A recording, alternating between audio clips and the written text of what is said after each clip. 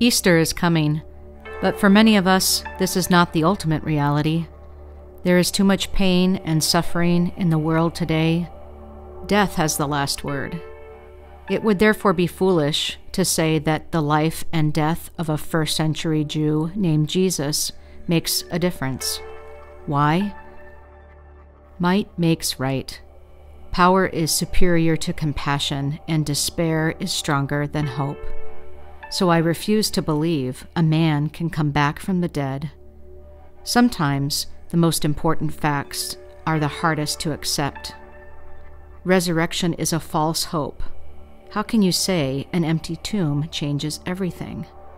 Don't you see God loves the world is a lie? Money is God, and the one who dies with the most toys wins. I will tell you what I tell my children. There is no more to this world than what you can see, hold, and buy. There is no mystery in everyday life, and there is nothing sacred about ordinary things and people.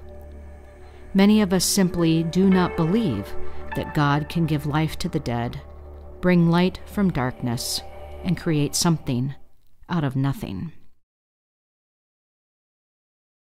But what if the testimony of the women at the tomb was true? Then God can give life to the dead, bring light from darkness, and create something out of nothing. Many of us simply do not believe that there is nothing sacred about ordinary things and people, there is no mystery in everyday life, and there is no more to this world than what you can see, hold, and buy. I will tell you what I tell my children. The one who dies with the most toys wins, and money is God is a lie. God loves the world. Don't you see? An empty tomb changes everything. How can you say resurrection is a false hope?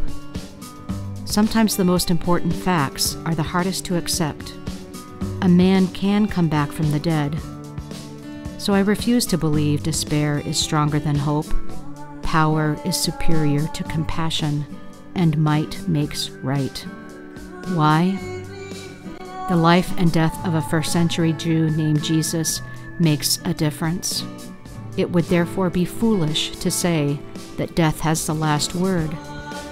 There is too much pain and suffering in the world today, but for many of us, this is not the ultimate reality. Easter is coming.